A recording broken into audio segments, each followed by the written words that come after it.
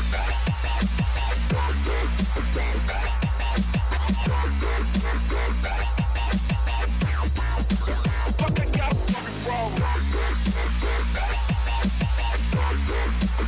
ะแสดงว่าคุณมีความเชื่อในเรื่องของดวงงั้นผมถามเลยฮะว่า ในชีวิตคุณเนี่ยเคยดวงดีสุดคืออะไรฮะ ดวงดีสุดเหรอ เรียนจบมั้ง เพราะว่าเรียนมาหลายที่ก็ไม่ประสบความสำเร็จ ดวงดีที่สุดในชีวิตคุณคือเรื่องอะไรเจอแฟนคนที่ผ่านมามั้งทำไมอะทำไมเขาดีมากเลยอะเขาดีมากแต่เรารักษาเขาไว้ไม่ได้ เอ็นติดอะไรอย่างงี้มั้ง เอ็นติดหรือติดเอ็นเอ้ย พี่บ้าเหรอ เอ็นหมูเอ็นไก่อ่าโอเคโอเคอ่าแล้วตัวเองอะ เรื่องอะไรดูดีที่สุด เจอตังค์พันหนึ่งหน้าบ้านจริงเหรอจริง แล้วคุณเอาไปทำอะไรฮะ เอาไปใช้เนี่ยเออ สุดท้ายรู้แล้วตังค์แม่ตัวเองเออดีมาก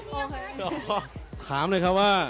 ชีวิตคุณเคยเจอเรื่องที่เรียกว่าเป็นดวงดีที่สุดเนี่ยคือเรื่องอะไรเรื่องงานแล้วกันอ่าทำไมงานเป็นไงฮะงานดีฮะ งานดีงานเยอะ งานยุ่ง ได้ตังค์ไหม ได้ดิ ไม่ได้ทำทำไมล่ะ เรื่องที่พี่คิดว่าในชีวิตนี้เนี่ยดวงดี ดวงดีที่สุดคือเรื่องอะไรพี่ได้มาอยู่กับบอดี้แลมทำไมพี่ทำไมพี่ทำไมพี่ เราทำงานอยู่ในวงการดนตรีมาแบบเกือบ 30 ปีอะแล้วอยู่ดีๆน้องเขาชวนเราเข้าไปอยู่อะไรเงี้ยก็เป็นอะไรดีที่สุดที่แล้วฮะ ดีที่สุดแล้วครับในชีวิต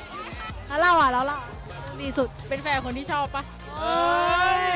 นี่แหละนี่แหละแล้วเขาอยู่แถวนี้หรือเปล่า อะเลิกกันไปแล้วอ่ะแล้วเราอะดวงดีที่สุด ไม่อ่านหนังสือแต่สอบผ่านอะ เฮ้ย เหมือนกันนี่เลย นี่ลักกี้ลักกี้ ไม่เคยไปเรียนไม่เคยเข้าเลยวิชานี้แล้วแบบตกแน่ๆตกแน่ๆแต่แบบผ่านไปขอไหว้เทพเจ้าเผาพระเจ้าเจ็ดบนไม่รู้กี่วัดต่อกี่วัดไม่ใช่โอ้โหจะบ้าเหรอเอาเวลาไหนไปบนหนังสือไม่มีเวลาอ่านเลยน่าจะเป็นเรื่องแฟน ทำไมอะคะ ทำไมครับ ก็จีบใครก็ติด โอ้ย เฮ้ยเป็นคนที่แบบว่าไม่ได้ชอบคนที่เข้ามาจีบ ชอบไปแบบจีบเขามากกว่าอะไรเงี้ยแล้วนี่นะคะเรื่องดวงดีที่สุดเลยดวงดีที่สุดอาจจะเป็นแบบมีเพื่อนที่ดีอะอย่างคนนี้อะค่ะดวงดีที่โอ้สุดอันนี้คิดว่าเป็นดวงหรือความสามารถของเราให้เจอเขาโชคชะตาโชคชะตาเดสตินีตัวที่สุดคือได้เกิดมาเป็นคนนี่แหละ เอ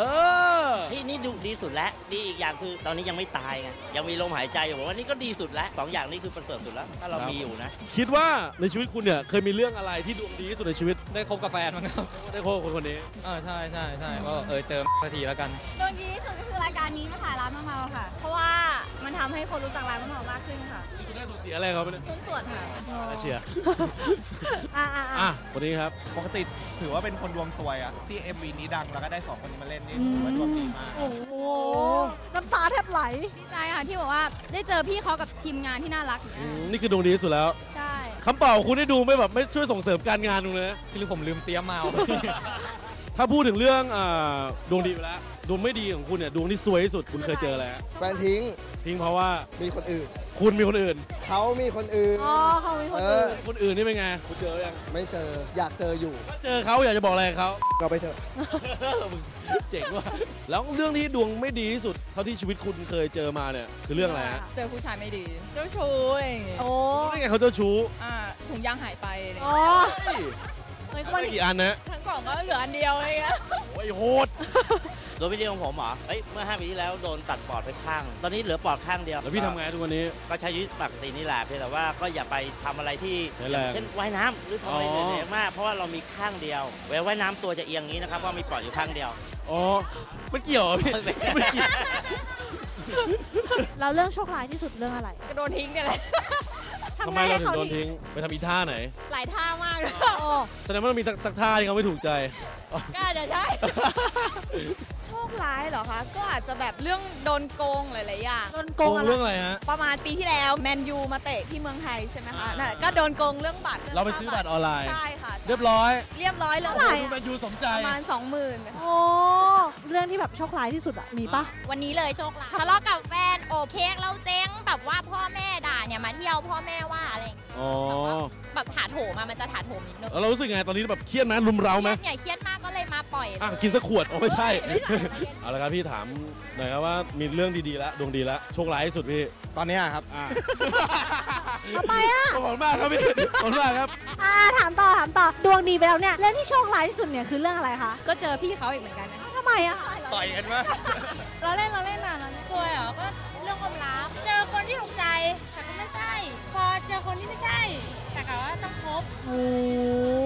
ไม่มีอะไรก็ก็ช่วงนี้ช่วงนี้ดวงจะแย่ๆกันหน่อยแบบล่าสุดก็ตกลื่นตกเวทีเอ็นอักเสบอยู่อะไรเงี้ยเอ็นตรงไหนพี่